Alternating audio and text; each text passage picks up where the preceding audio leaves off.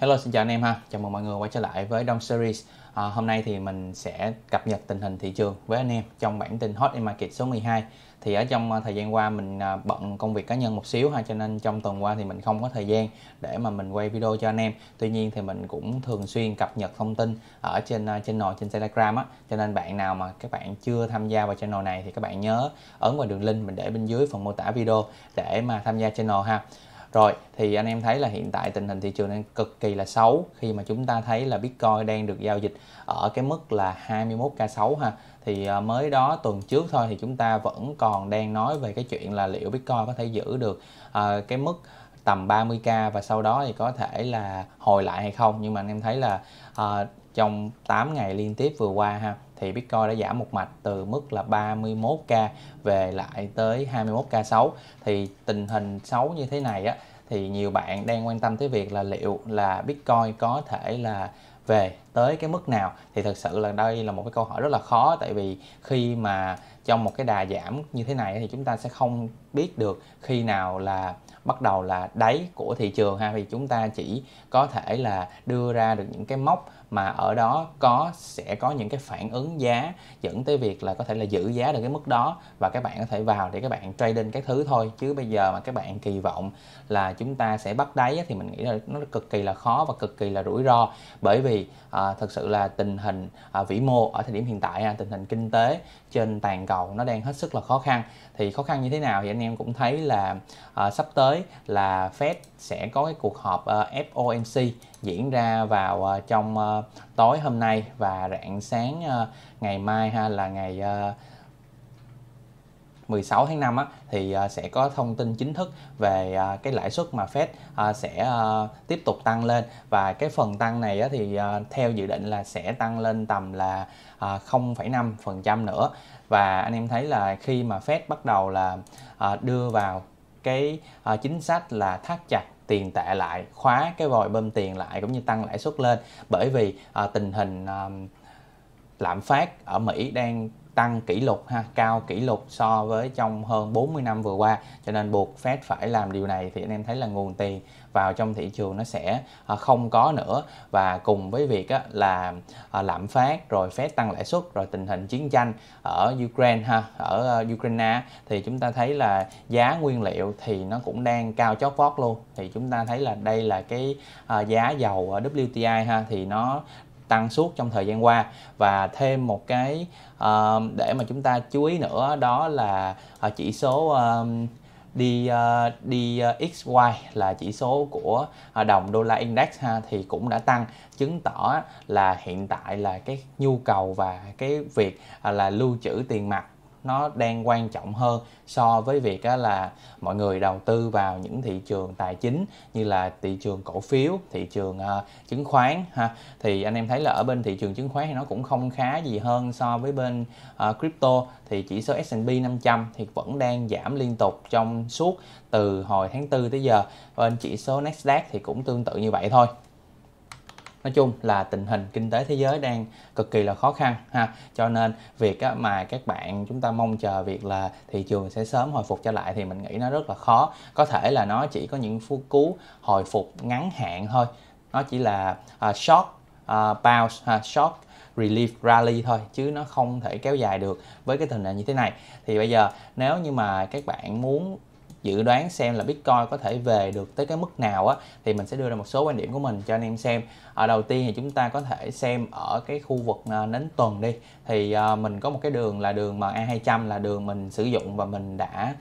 có nói, chia sẻ với anh em ở cái bản tin Hot in Market số 11 cũng như là các bản tin trước rồi. Thì anh em thấy là cái đường MA200 của khung nến tuần này ở trong quá khứ nó đã hoạt động rất là tốt thì uh, vào năm 2018 khi mà Bitcoin đạt đỉnh vào cuối năm 2017 đầu 2018 là tầm ờ, uh, 20k ha thì sau đó nó đã giảm một mạch rất sâu về tới cái mức là 3.000 ha. Thì khi mà Bitcoin chạm cái khu vực ờ, đường MA200 thì bắt đầu nó đã có những cái phản ứng giá và anh em thấy là nó đã đi sideways uh, hơn chắc tầm là hơn 10 tuần ở dưới khu vực này ha, chạm MA200 và ờ, đi sideways ở khu vực này trước khi mà lên lại rồi, thì chúng ta thấy là vào tháng 3 năm 2020 đó là cái thời điểm mà dịch Covid bùng phát trên toàn cầu thì một lần nữa là thị trường lại trao đảo và Bitcoin lại tiếp tục bị bán đâm xuống và xuyên thủng của đường MA 200 này. Tuy nhiên thì sau đó thì đã, tuần tiếp theo thì đã rút rau lên và đóng nến trên cái đường MA 200 này và tiếp tục uh, phát triển và tăng trưởng lên cái mùa uptrend mà chúng ta đã chứng kiến ha. Thì ở thời điểm hiện tại Bitcoin đã xuyên qua cái đường MA 200 này rồi thì nếu như mà ở tình à, việc tích cực á, thì chúng ta có thể kỳ vọng là à, cái nến tuần này Bitcoin có thể đóng và rút rau qua khỏi đường MA 200 tức là ở cái mức là 22k5 và có thể là giữ nhịp ở cái mức này đi sideways dưới đáy như ở khu vực hồi đợt 2018 hoặc là à, có thể là tuần này đóng dưới nhưng mà tuần sau thì có thể là đóng trên như là cái khu vực hồi 2020 để mà à, chúng ta vẫn có thể kỳ vọng là thị trường sẽ có những cú hồi phục ngắn hạn ha. Thì đó là khu vực đường MA 200 mà các bạn cần để ý ở khung tuần. Tiếp theo là còn một cái mốc quan trọng nữa đó chính là cái mốc on time high của đợt à, năm 2018 thì anh em thấy là với on time high 2018 nếu chúng ta xem ở khung tuần á thì uh, Bitcoin uh, có thể về chạm tới cái mức là 18k9 ha. Thì uh, hiện tại nó đã về tới uh, 20k rồi thì từ uh, đây về tới 18k9 nó cũng không còn bao xa nữa chỉ có 10% nữa thôi. Thì có thể là tới mức này cũng sẽ có phản ứng giá tại vì là rất là nhiều người uh, mong chờ và chờ cơ hội để mua ở cái khu vực này thì nếu như mà Bitcoin về chạm cái mức này thì đây sẽ là lần đầu tiên trong lịch sử uh, của Bitcoin mà cái chu kỳ sau quay về test lại đỉnh của chu kỳ trước ha. Thì trước đó trong lịch sử thì Bitcoin chưa từng làm như vậy cả. Mỗi lần mà có một cái chu kỳ uptrend mới sau cái ờ, thời gian bear market á thì Bitcoin không bao giờ quay lại test đỉnh cũ hết. Nhưng mà nếu lần này Bitcoin ờ, về lại cái mốc là 19k ở đây thì tức là cái quy luật đó đã bị phá vỡ rồi và cái khu vực uh, giá 19k này á, nếu mà các bạn xem ở cái uh, nến ờ, uh, 3 ngày ha thì chúng ta sẽ thấy đây cũng là một cái khu vực mà Bitcoin khi mà trước khi mà bứt lên ở uh, năm ngoái ha thì cũng đã sideways vài ngày ở dưới đây. Đây anh em thấy đây là cái khu vực mà Bitcoin đã sideways uh, trước khi mà có những cái cú break lên liên tục trong nhiều uh, ngày liền ha thì cái đoạn này cũng là ở vòng quanh cái khu vực là 19k thì nếu mà chúng ta xem theo ờ, volume á, thì các bạn sẽ thấy là đoạn này volume cao nhất của nó POC của nó cũng trùng khớp với lại cái đỉnh cũ uh, năm 2018 tức là cái đường màu đỏ này ha nó trùng khớp là tầm 19k thì cho nên cái mốc 19k cũng là cái mốc mà anh em cũng hết sức là quan tâm ha. Và cái mốc thứ ba mình muốn cho anh em ờ, xem á đó là nếu anh em mở chart tháng lên ha cái chạc tháng lên thì thực sự là nó sẽ xấu hơn chạc tuần rất là nhiều. Tại vì đối với lại chạc tháng thì chúng ta sẽ thấy là Bitcoin hoàn toàn có thể về đến tận là à, 13k năm là đóng nến tháng của chu kỳ uptrend trước là ở khu vực này ha. Nếu mà chúng ta không tính cái khu vực cái râu này nè, thì anh em thấy là cái khu vực 10 13k7 à, ha. Đây là khu vực nến tháng đóng của năm 2017 thì Bitcoin đang trên đường quay trở về cái khu vực này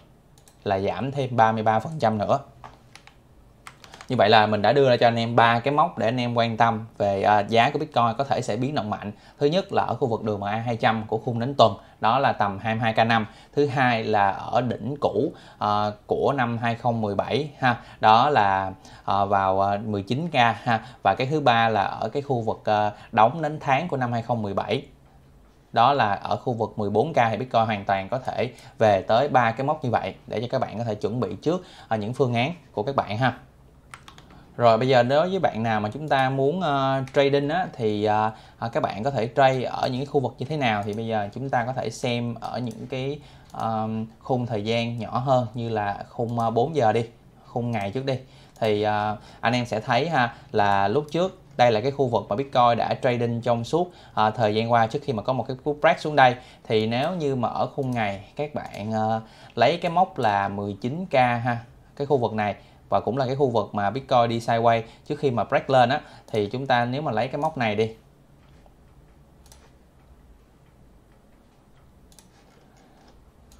Đây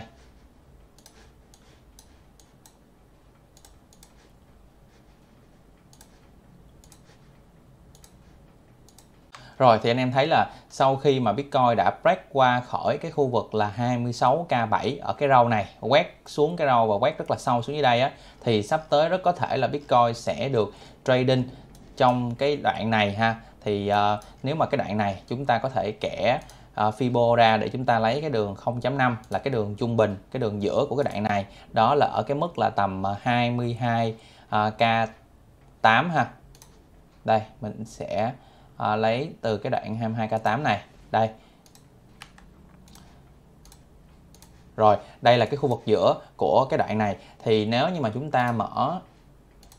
đến 4 giờ ra thì anh em thấy là à, khi mà Bitcoin về tới cái khu vực à, đạn giữa này ha thì nó đã có phản ứng giá và nó không thể break qua được và tiếp tục nó bị uh, bán bị đâm xuống dưới đây. Thì sắp tới thì mình nghĩ là Bitcoin có thể là về tới cái khu vực là tầm ờ, uh, 19k này để test lại cái đỉnh cũ của năm 2017 luôn. Hoặc là thậm chí là nó có thể là xuống sâu hơn nữa. Tuy nhiên sau đó thì nó có thể là rút rau lên lại và nó sẽ được trading ở trong cái khu vực này và nó sẽ được trading từ đây lên tới đây rồi từ đây lên tới đây rồi thì sau khi mà chúng ta đã dự đoán à, cái khu vực mà Bitcoin sẽ được trading á, thì à, cứ dựa theo plan rồi chúng ta sẽ à, tiến hành à, bắt đầu trade thôi. Thì anh em sẽ thấy là nếu như bạn nào mà canh lon á thì các bạn có thể đợi Bitcoin lên lại tới cái mốc là 22k8 ở cái đường ở giữa hai khu vực như thế này. Thì à, nếu mà nó vẫn giữ được ở cái mốc 22k8 này á thì anh em có thể canh lon entry ở đây và chúng ta sẽ lon lên gần tới 26k7 và stop loss của chúng ta là sẽ ở dưới à, cái khu vực nó đi sideways quay như thế này và tỷ lệ risk reward nó cũng sẽ khá là ok ha. Đây anh em sẽ lon lên và tỷ lệ RR nó sẽ là 3.34 thì đó là trong cái trường hợp lý tưởng dành cho những bạn nào mà chúng ta muốn lon. Còn đối với những bạn nào mà chúng ta muốn uh, short uh, Bitcoin á, thì uh, nó tương nó ngược lại với lon thôi. Thì khi mà Bitcoin lên tới trên đây và anh em thấy là khi mà Bitcoin không thể giữ được tới cái mức này và nó bị uh, trading ha ngược lại xuống phía dưới đây thì khi mà nó retest lại ở trên khu vực này á thì anh em sẽ có thể là canh short và chúng ta sẽ canh short xuống tới cái khu vực uh, on time high của đỉnh cũ uh, năm 2017 và rồi về cái tỷ lệ à, risk reward thì các bạn có thể entry ở đây và stop loss chúng ta sẽ đặt ở đây và uh, TP take profit chúng ta sẽ đặt dưới đây rồi thì đó là cái ý tưởng của mình dành cho những bạn nào chúng ta muốn trade Bitcoin ha. Còn đối với oncoin á, thì à, tương tự chúng ta cũng phải xem cái hành vi giá Bitcoin để mà các bạn có thể muốn vào các bạn mua oncoin. Nhưng mà cái lời khuyên của mình á, là hiện tại các bạn chỉ canh mua oncoin à, và chúng ta canh hồi tầm là 10% thì chúng ta chạy thôi chứ các bạn không nên hold lâu ha. Ví dụ như là hôm bữa mình cũng đã post lên cái à, uh, ba cái đồng coin mình sẽ đi shopping ở cái ngày 13 á, thì anh em thấy là mình mua BTC, ETH với lại NIA và uh, ngay ngày mai ha thì mình đã chốt lời hết à, ba uh, cái đồng coin này. Thì nếu như mà mình không chốt thì hôm nay là uh, thực sự là nó đã giảm về rất là sâu rồi ha. Rồi bây giờ chúng ta sẽ xem thử qua cái chạc của uh, oncoin đi. Thì chạc oncoin ở cái video trước thì mình cũng đã nói với anh em là oncoin sẽ có thể về lại vốn hóa của oncoin có thể về lại cái đỉnh cũ của năm ờ, 2018 ha. Đó là ở cái khu vực à, vốn hóa là tầm 471 tỷ đô. Thì anh em thấy là hiện tại là nó đã về đúng ngay cái đỉnh này luôn. Đây anh em thấy là oncoin nó đã về đúng ngay cái đỉnh cũ này và nó đang được giao dịch ở xung quanh cái khu vực này. Rồi chúng ta cũng kẻ cái đường này để chúng ta xác định ra à, khu vực ở giữa hai cái mức này là tầm 557 tỷ đô. Thì anh em nếu mà chúng ta canh uh, trade on call và các bạn canh sóng hồi á thì trong điều kiện lý tưởng thì on call có thể hồi lên tới ở trên đây là tăng thêm là 15% vốn hóa trước khi mà nó có thể sập sâu hơn nữa ha. Hiện tại thì cái mức vốn hóa 641 tỷ đô rất là lớn và rất là mạnh á. Ờ, ở trong ờ, suốt cái thời gian từ năm 2021 tới nay này nó đã bị giảm rất là sâu rồi. Cho nên ờ, việc mà oncoin có thể về lại đây là sự là một cái việc rất là khó. Và nếu như trong trường hợp lý tưởng mà oncoin có thể về lại mức vốn hóa ở đây á, thì bạn nào mà chúng ta đang bị đu đỉnh á, thì theo quan điểm của mình ha, thì các bạn có thể cắt lỗ bớt một phần đó sẽ là một cái cơ hội rất là tốt để chúng ta có thể cắt lỗ ha. Thì đó chính là quan điểm cá nhân của mình thôi. Nó không phải là lời khuyên đầu tư, cho nên bạn nào mà các bạn ờ, muốn làm theo thì các bạn ờ, cũng phải tự chịu trách nhiệm với lại quyết định của mình nha. Rồi ok thì đó là những cái thông tin mình muốn chia sẻ với lại anh em ở trong cái bản tin ngày hôm nay. Thì mình cập nhật thêm cho anh em một số cái thông tin quan trọng nữa của thị trường. Đó là hai ngày qua thì chúng ta liên tiếp nhận được những cái thông tin đó là về cái nền tảng lending là Celsius. Thì họ đã đóng hết à, tất cả những cái à, việc là swapping rồi trading cũng như là à, rút tiền ra khỏi nền tảng của họ và theo như một số cái nguồn tin ở trên Twitter á, là Celsius họ đã liên tục phải uh, nạp tiền thêm vào để kéo cái phần tài sản mà họ đang để trong những cái nền tảng ha để mà giá thanh lý của họ còn có 14k thôi. Thì hôm trước mình thấy là nó tầm là 17 18k thì họ đã liên tiếp liên tiếp nạp thêm tiền vào để kéo cái giá thanh lý này xuống. Và nếu như mà uh, cái đợt tấn công cái đợt giảm của thị trường này và nó tấn công nó nhắm vào Celsius đó thì cũng có khả năng là giá của Bitcoin nó sẽ về tới cái mức là thanh lý hết số tiền của cái nền tảng lending này luôn. Ờ, à, thị trường tài chính đó, nó giống như là một cái cuộc chiến vậy đó. Thì uh, có thể là những cá voi khác ha, đang ờ, nhắm vào bên uh, sệt và có thể là muốn tấn công họ. Tương tự như uh, những cái tin đồn mà cái đợt sụp đổ của đồng Luna USD uh, lúc trước thì mình cũng đã cập nhật với anh em trong cái bản tin trước đó. đó là uh, những cái quỹ đầu tư lớn ở trong thị trường họ bị cáo buộc là đã tấn công vào đồng USD để làm cho uh, hệ thống của USD như là Luna sụp đổ ha. Thì sell sệt hiện tại cũng đang bị rất là nhiều uh, cá voi ẩn danh ở trong thị trường đang đang nhắm vào họ và tấn công họ. À, tiếp theo bên cạnh Celsius thì chúng ta thấy là một cái quỹ đầu tư rất nổi tiếng ở trong thị trường đó là uh, Three Arrow Capital. Uh, là 3AC ha 3AC thì cũng đang đứng trước cái bờ vực là phải bị thanh lý số lượng lớn vài trăm triệu đô cho tới hàng tỷ đô tài sản của họ. Thì đây à, vẫn chưa là một cái tin chính thức ha. Mình lưu ý cho anh em là không phải là tin chính thức mà chỉ là tin đồn thôi. Nhưng mà rất là nhiều những cái nguồn tin lớn ở trên Twitter cũng như là những cái tài khoản như thế này. Họ đã chỉ ra những cái tài khoản à, những cái ví tiền mà à, 3AC họ đang sử dụng và họ đem đi à, lending à, họ đem đi vay mượn thế chấp ở trên những cái nền tảng cho vay chẳng hạn như là ở trên AV ha họ đang có tổng cộng là 264 triệu đô theo ờ, uh, ETH và họ đã mượn tổng cộng là gần 200 triệu đô. Đối với lại cái số tiền này họ đem vào thế chấp và hiện tại là uh, khi mà ETH về tới cái mức là 1042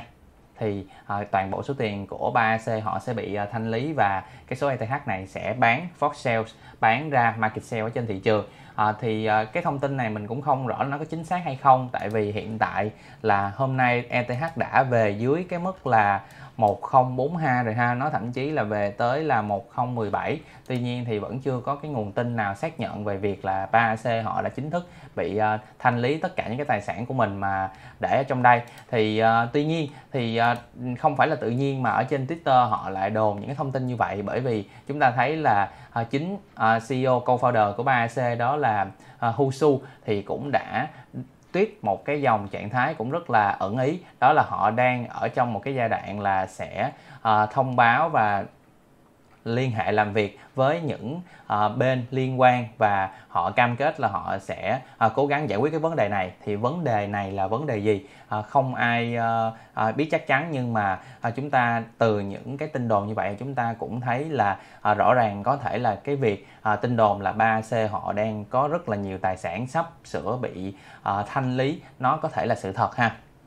rồi thì mình cũng có một cái bài phân tích ở trên channel của mình đó là nếu như mà thật sự là 3AC họ bị mất tiền thật và họ bị thanh lý uh, số tài sản từ vài trăm triệu đô cho tới hơn uh, hàng tỷ đô như vậy á, thì nó sẽ kéo theo những cái hiệu ứng domino uh, tới trên thị trường và nó sẽ làm cho thị trường ngày càng xấu đi ha. Chúng ta thấy là chỉ trong vòng chưa đầy một tháng qua thôi thì liên tiếp những uh, dự án lớn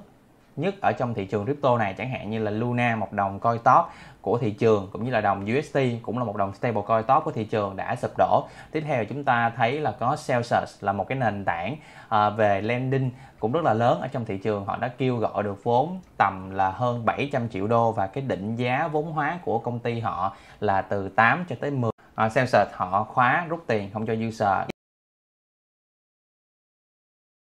phải là à, bồi thêm tiền vào để kéo cái giá mà thanh lý cái số lượng tài sản của họ thấp nhất có thể ha. Rồi thì những cái tin tức như vậy ha, những cái sự kiện như vậy nó đến dồn dập ở trong cái thị trường này thì mình nghĩ là nó sẽ còn có thể tiếp tục diễn ra nữa. Và những cái sự kiện đó nó có thể trở thành những cái sự kiện thiên nga đen tức là những sự kiện rất là khó có thể diễn ra nhưng mà tỷ lệ rất là thấp ha nhưng mà nó vẫn có thể xảy ra uh, bất chợt và nó gây một hậu quả rất là lớn đến cho mọi người. Chẳng hạn như là uh, chẳng hạn như các bạn tưởng tượng thử là một ngày là sàn top trên thế giới uh, như là Binance, FTX hay là Coinbase hay là một cái sàn nào khác ha có ảnh hưởng lớn tới thị trường nó bị hack hoặc là nó không truy cập được hoặc là CEO của sàn bị kiện hay là bị bắt thì những cái việc này nó đã từng xảy ra trong quá khứ rồi ha hoặc là đồng stablecoin bị uh, mất pet như là những cái đồng USDT hay là BUSD hay là USDC nè hoặc là những cái mạng lưới blockchain bị ngãn ngừng hoạt động chẳng hạn như là thời gian qua chúng ta có Solana ha thì tất cả những sự kiện đó nó có thể làm ảnh hưởng tiêu cực tới thị trường crypto như thế này.